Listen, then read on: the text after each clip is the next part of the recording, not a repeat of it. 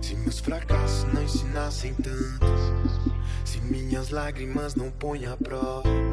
Acho que o segredo de vencer na vida talvez é compreender sua dor de agora.